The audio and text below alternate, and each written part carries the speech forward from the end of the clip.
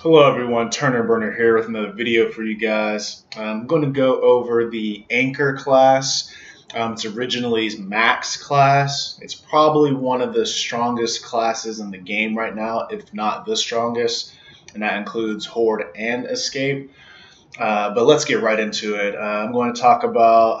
Um, I don't use this class for Horde, so if you have example stacks you want to give for Horde, just comment that down below. But I am going to talk about um, things I have observed from my teammates uh, who use this class for Horde as well. So let's get into it. So the Anchor class, uh, the Anchor is a pistol specialist that uses an invincible barrier to outsmart the enemy.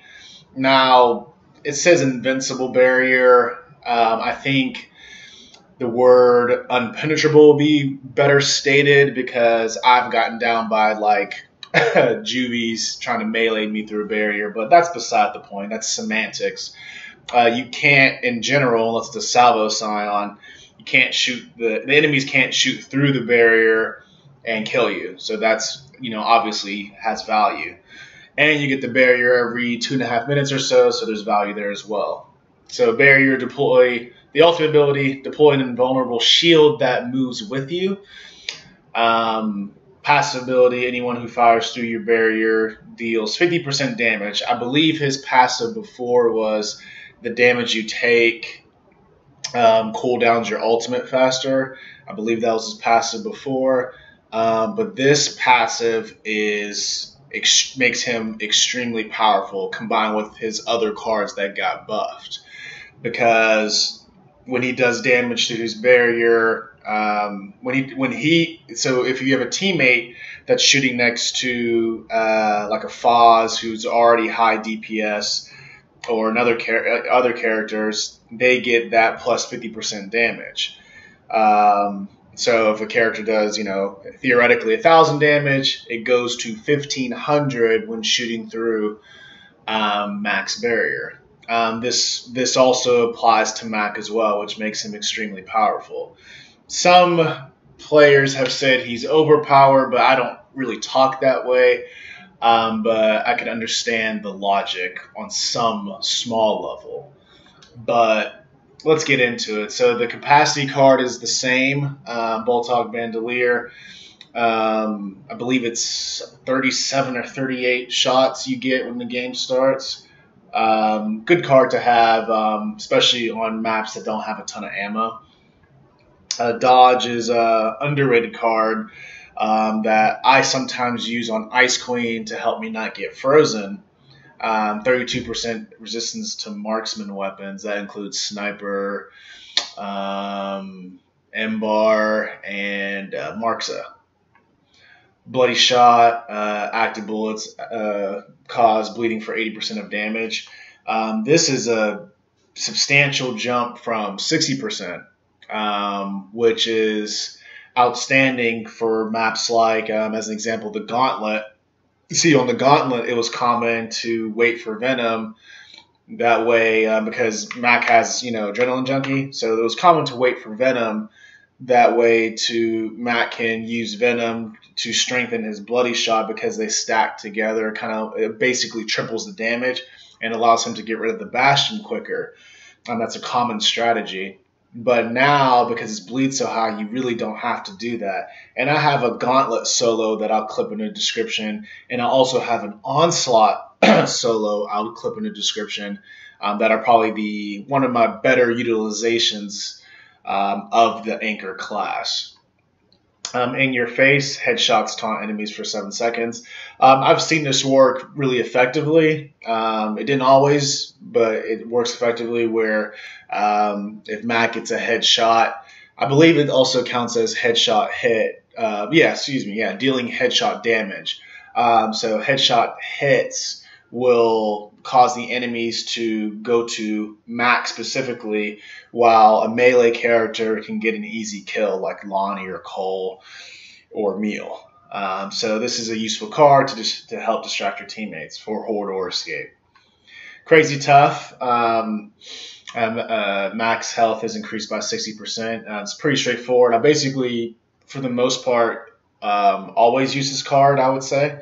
Um, you know, very good, very good idea on on especially for solo runs like that I do to uh, you know have better health. It allows you to uh, survive more situations.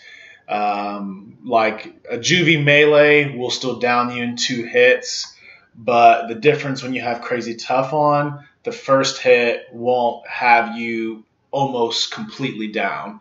Um, you know, with only like 1% health remaining, it'll have you about like 50% health remaining.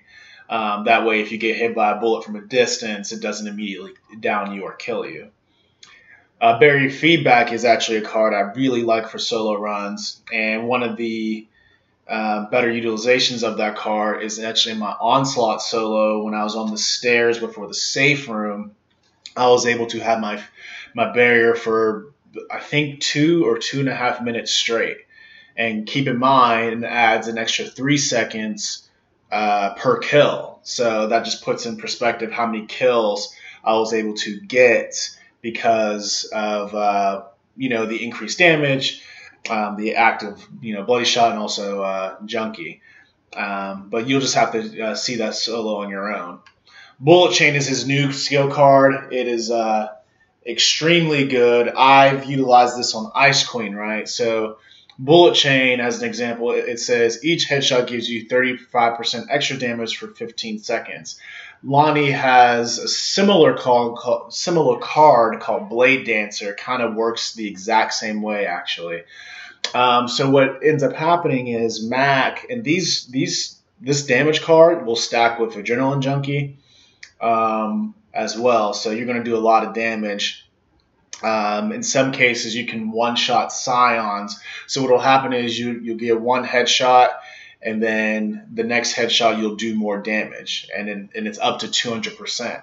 So um, I've seen a buddy of mine active, you know, active long shot, one shot headshot a Scion. Um, I know for one of my score runs, I was able to combine feedback with bullet chain, and I was able to headshot like 15 drones in a row, not even needing an active on my long shot. Very, very useful uh, due to the fact that um, you get more damage. So it helps you kill the larger enemies like Scions, Wardens more efficiently. So uh, mine's only level three because I haven't been using this class a ton. Um, but it's even at this uh, low quote unquote damage, it's still very, very good. Um, I'm not entirely sure what it's at level six. I want to, I'm gonna guess uh, 50%. So Adrenaline Junkie has been buffed from 60% to 80%. Mac does more damage while in Venom. So it doesn't have to be thick Venom, just has to be, you know, just check your map or check your surroundings. It could be light Venom and he will do increased damage. So because of the increased damage of Bloody Shot, Adrenaline Junkie, this allows feedback to be more useful because he is getting quick uh, kills faster to extend the barrier. So this allows, um, you know, again, I referenced my onslaught solo. This allows me to get kills very efficiently and very effectively. That way, I can, you know, have the barrier for an extremely long time. Epic score boost speaks for itself. 35% increased team score in Horde, 35% time bonus and escape. Harness Energy is another new card, and I'm going to talk about this card from the perspective of what I've observed in Horde because that's when I've usually seen it, and a, and a few escape matches from uh, buddies of mine. So I have noticed that you. Uh, so it says each barrier hit gives you three stem to the entire team if under 100% health, right? So when my buddy had this card on, he was dealing with a Mulcher Scion, and he was hitting the Mulcher Scion and he wasn't getting down by the Scion. I don't know if he he was dodging him or what. I couldn't really see from the distance. But the point I want to say is I was like across the map getting stem. So there's no distance uh, requirement for this skill card. This just you just continue to get stem.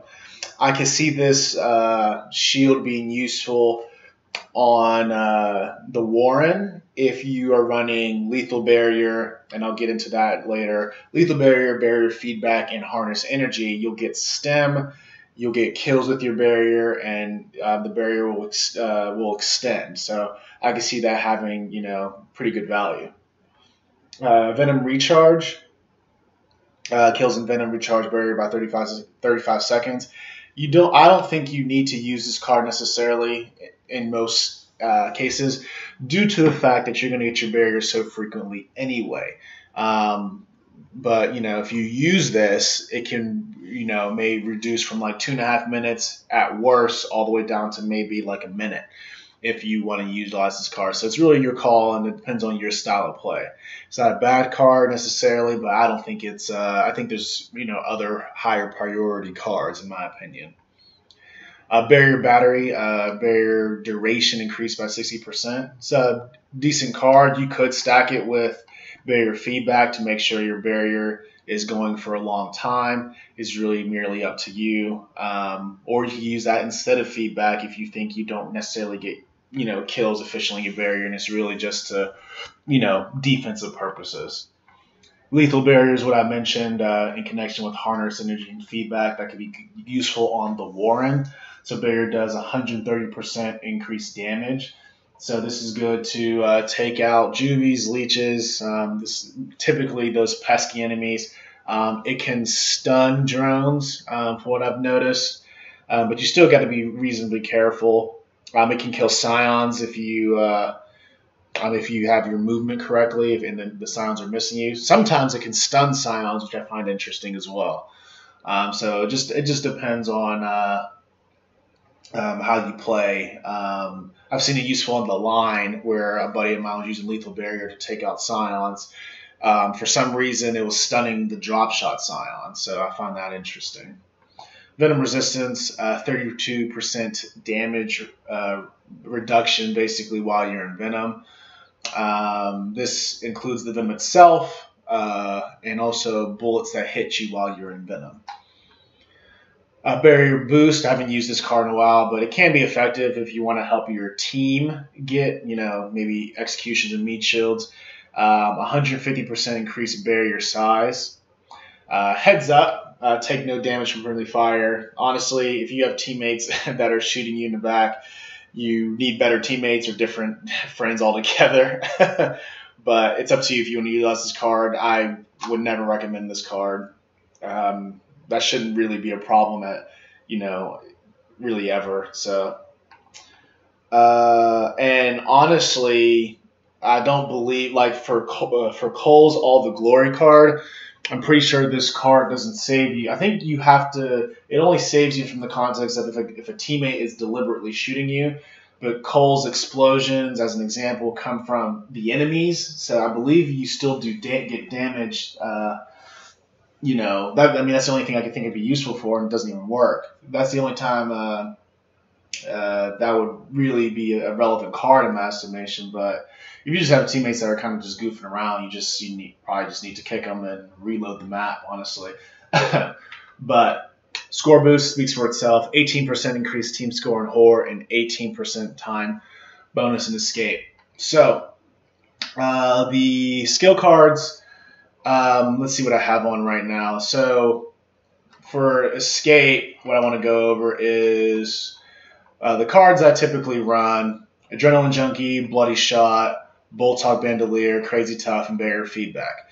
That is like, in general, my go-to stack for escape. The only difference is on Ice Queen, I will change feedback for the marksman card due to the fact that it'll protect me from getting uh, sniped in like frozen in venom.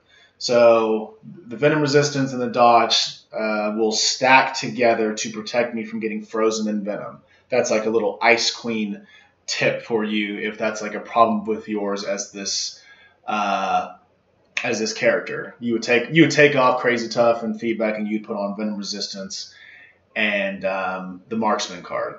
So, but this is the, the this stack probably for 90% of maps highly effective. More damage in Venom, uh, more damage, uh, or Bleeding Boltok has more damage, has been buffed.